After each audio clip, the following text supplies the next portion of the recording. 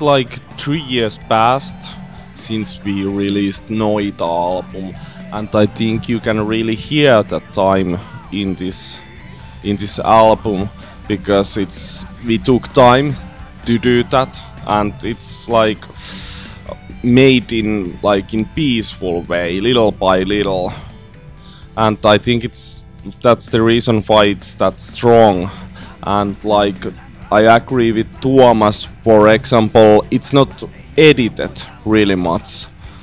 Like um, if I'm a bit late when we recorded that, I played my part like a bit like should I be faster, should I be more slow? It's there like it is. It's not edited really much. And for example, um, there is no trigger drums at all so it's really like down to earth album which I like.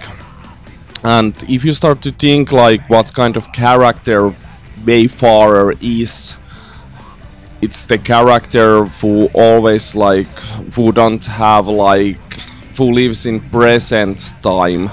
You don't have to worry about tomorrow. You don't have to worry about yesterday. You live in present time carried by lust lust of life uh, so that describe it i think. Because it is actually really important to live in the present. Because uh, there is no past and there's no future. Future is uh, tomorrow's present.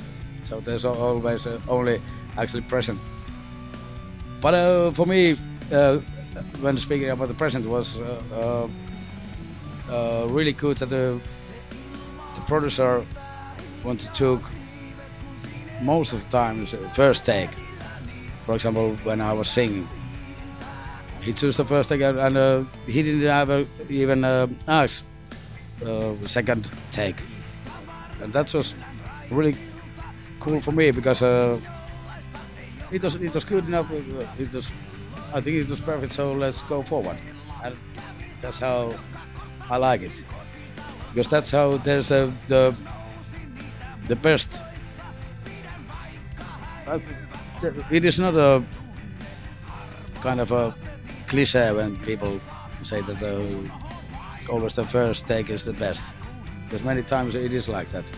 That's why this album is so fucking cool.